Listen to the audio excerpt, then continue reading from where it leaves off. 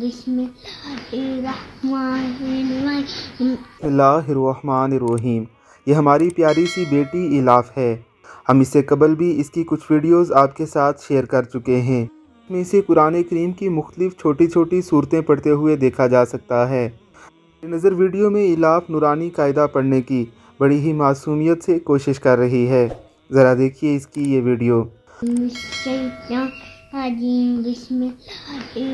Bismillahirrahmanirrahim. Alif lam alif ba alif lam lam lam alif lam lam alif ba lam ba kaf kaf kaf ba kaf ba kaf alif kaf alif ba kaf ta ta kaf sa ba ta sa nun Jabalif, Nunalif, Italif, Yalif, Salif, Passim, Yassim, Nunsim, Tassim, Tassim, Sadim, ta ha Nun, Ho, Ya, Badim, Yamin, Mamim, Nunmim, Tam,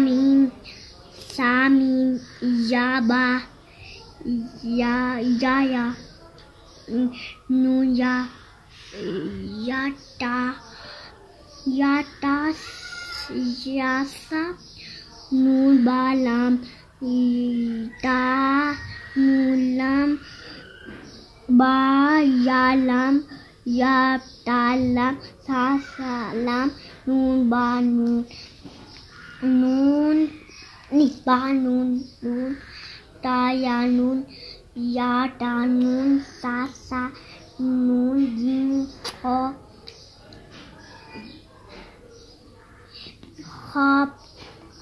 अल्लाह रब्बुल इज़्ज़त की करोड़ों रहमतों का नज़ूल हो उन लोगों पर, जो अपने बच्चों को असरी तालीम के साथ साथ दीनी तालीम भी दिलवा कर, उन्हें आने वाले इलाहाद और लादीनियत के दौर में दीन पर डटे रहने के लिए तैयार कर रहे हैं।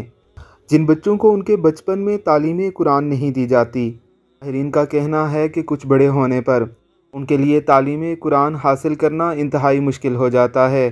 यही वजह है कि अक्सर व बेशतर ऐसे बच्चे जो बचपन में कुरान करीम पढ़ना नहीं सीखते, तमाम उम्र इसी हालत में गुजार देते हैं। यहाँ हम अपने बच्चों की दुनियावी तालीम के लिए अच्छे से अच्छे स्कूल का इंतखब करते हैं, वहीं अगर हम अच्छे कारी साहब का इंतज़ाम कर लें हमारे बच्चे दुनिया व आहरत में हमारी फ़लाह कामरानी का बायस बन जाएँगे।